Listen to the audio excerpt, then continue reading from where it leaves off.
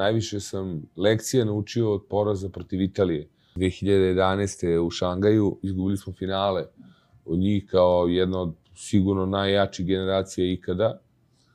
I onda 2012. dođemo u London, dođemo do tog polufinala sa italijanima olimpijade i izgubimo na isti, identičan način, samo zato što nismo se okrenuli sebi i što smo gledali druge i što smo mislili da smo nepobedivi, kada smo shvatili da moramo pre svega da poradimo na sebi, a onda će uspeh da dođe sam po sebi. To je jedan od težih poraza ta dva protiv Italije i penali u Melbourneu